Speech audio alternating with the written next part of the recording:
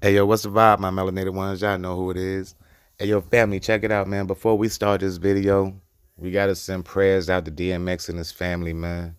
You know, DMX OD'd last night. God, you know, God willing, he's still here. Thanks to the creator. The brother's still here, but he's he's still like on life. I think they say he on life support. He breathing. I think he's breathing for himself, but it don't look good for him. I mean, you know, DMX has had his past with the drugs and all that. And the people that know, we already know that.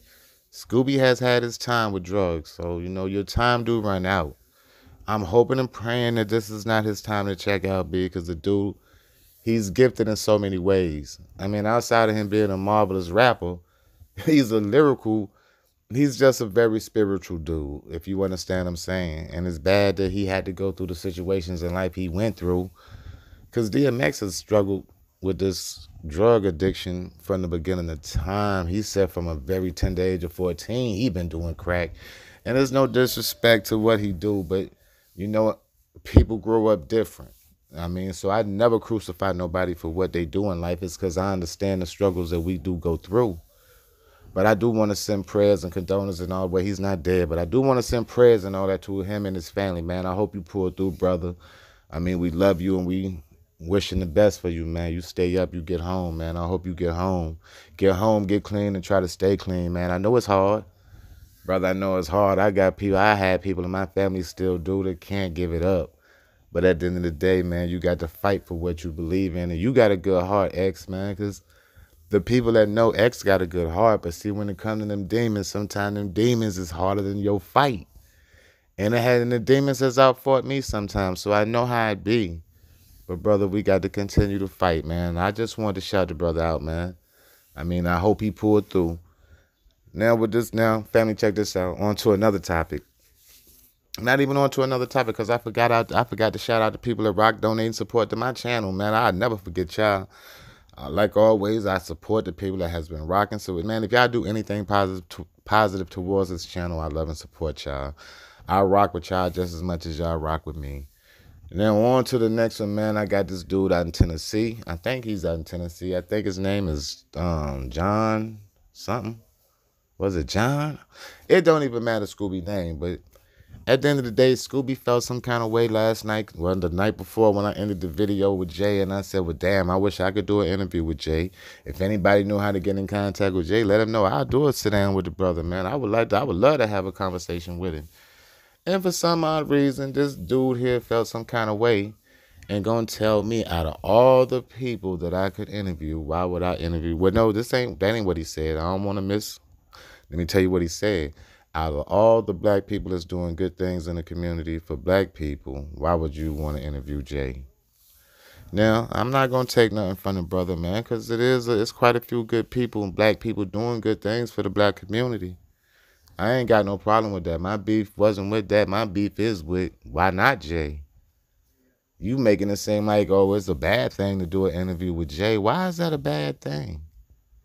I mean, I sit around and watch YouTube all day and see some of the biggest idiots get interviewed day in and day out. But time I say I'll do an interview with Jay, it's a problem. That's crazy. Y'all will sit around and have Lil Yachty interviews and and, and little corn muffins like that interviews, but anybody that makes a little bit of sense and try to change some amongst black people, it's a problem with. Cause see, you got your little 200 subscribers. You understand what I'm saying? I see your little channel. You, I mean, no disrespect to what you got going over, going on over there. But at the end of the day, if you you you interview who you want to interview, I mean, you you you deal with what you want to deal with. See, you don't even deal with these kind of topics anyway, so I don't even know how you ended up over here. I mean, but you got to know to tell me out of all the black people, all the positive black people that's doing positive things for the community, why you choose him. Why not him, Scooby? At the end of the day, why not him? You name somebody right now that's doing something that has not already been done before. Cause see what Jay doing. I mean, granted, what you gonna say? Yeah, the Black Panthers did do it, but then, I mean, at the end of the day, you got to understand something wasn't done in this formal way. And that was no low blow to the Panthers because I love and support them brothers just as much as I love and support this NFAC. But at the end of the day, it was two different lanes and we dealing with two different ages, B. And I got to understand something, man. You ain't always got to push that bull. And I tell people that on a regular basis. See, I got another whole channel. I tell people that for the bullshit. If you want to go check that, I got another whole channel for that. But over here, I ain't got no problem saying B. I'm positively saying, man, I ain't got no problem supporting Jay. Got no problem interviewing that brother. And then I had a, a young lady ask me, I think this is like yesterday, a day before yesterday too. She said she notices people with way less subscribers that get interviews with Jay, and I got 14,000 subscribers, and I've never reached out to him. She asked me why I've never reached out. You got to understand, Princess, I have reached out. I mean, I have. I reached out on IG, but at the end of the day, the man was going through much at that time. I never got a reply back. Now, this is what I'm not going to do. I'm nobody's stalker. I'm nobody harasser. I understand that man got a lot going on. And before that, man, before I keep hitting his inbox up, asking him weird ass and uncomfortable questions, because I'm pretty sure he get a lot of them, and he try to curse me out, I left the situation alone. I feel eventually if Scooby felt like he wanted to reach out, if he get the me- if he get the if he get the little message and all that, he'll email me back and be a set up son. But until then, I never received anything, and I never changed the way I felt about that movement or him. See what you got to understand. I'm a grown man. I don't run off emotions. If I ran off emotions, man, I wouldn't put up these videos. If I ran off emotions, I wouldn't push Jay. It's because, like I said, I don't agree with 100% of what that man say. But just because he say something I don't agree with, does that mean I get mad at him and be like, well, I'm not gonna say nothing good about the brother no more. I'm not gonna put up no videos about the brother no more. See, y'all got to see. I'm that's that's grown man. I'm a grown man. So I don't ride off emotions.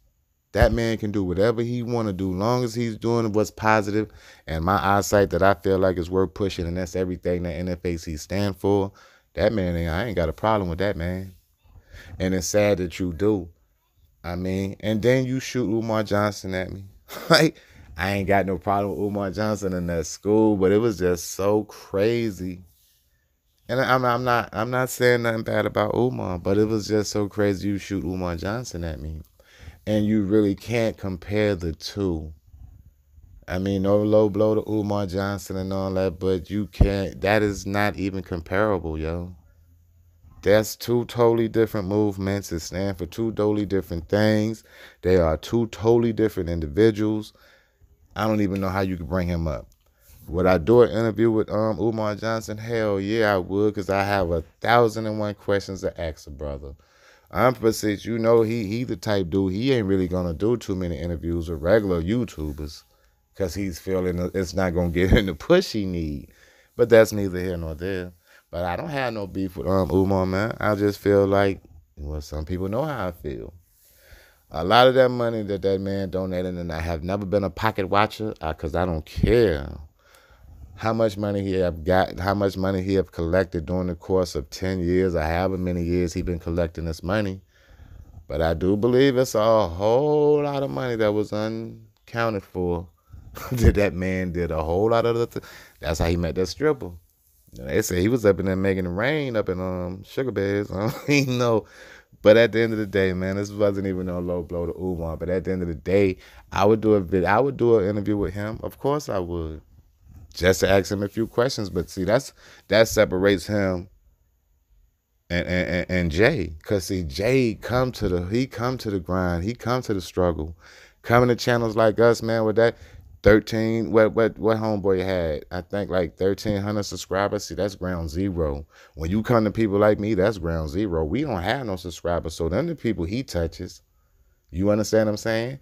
If it ain't a VladTV or somebody that's gonna bring Umar x amount of, of views he's not touching it. He ain't and then you know he think people gonna criticize him anyway. Jay stands strong on the he stands strong so he don't care if you're gonna criticize him or not. He gonna be there and he gonna be there. You understand what I'm saying?